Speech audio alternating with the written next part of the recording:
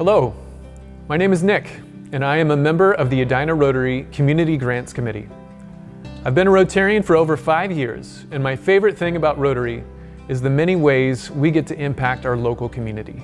Each year, we award grants up to $5,000 to serve local nonprofits in the Twin Cities metro. There are so many great nonprofits operating in the Twin Cities, and each year we receive more grant applications than we are able to fund. In order to provide our grant committee and help set up our applicants for success, our club has prepared grant guidelines to clearly identify the projects we are most interested in funding. Our guidelines were created in the hopes of maximizing our impact in our community in tangible ways. The applications that closely mirror our grant guidelines are the ones most likely to be approved by our grant committee. Please review our grant guidelines closely to ensure your proposed project fits our selection criteria. You can find our guidelines in a link below. To help potential applicants, I'd like to take a moment to summarize some of the more important points of our guidelines. These are some of the most common reasons we turn down grant applications. First, the organization and or the proposed project needs to be in our local community. Edina, Minneapolis, Hopkins, Minnetonka, Richfield, Bloomington, Eden Prairie, and St. Louis Park are all acceptable.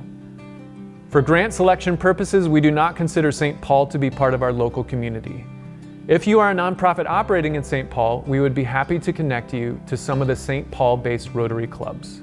If you are a nonprofit operating on a larger geographic scale, be prepared to share in your application what proportion of your funding request would benefit people in our local area.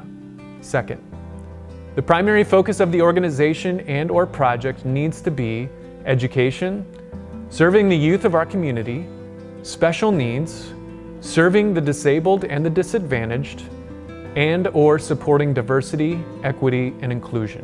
Third, we do not wish to provide funds to support operating budgets or to provide funds for consumable goods like food, gas, gifts or giveaways, or printed handouts. We want to help nonprofits in very tangible ways with tangible, impactful goods. Projects that involve purchasing new technology, equipment, furnishings, security systems, or providing skill development or impactful training that are not part of operating budgets are common for applications that are given awards. Our application process usually opens July 1st and runs through October 31st. The committee then reviews all the applications and makes awards in March. For more information, please visit edinarotary.org. To all our nonprofits in the Twin Cities, we are grateful for what you are doing to serve our communities, and we hope we have the chance to partner with you. Thank you.